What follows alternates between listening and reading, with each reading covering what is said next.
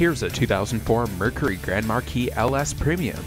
This local trade-in has a durable 4.6-liter V8 engine, smooth shifting automatic transmission, heated leather seats, aluminum wheels, and more.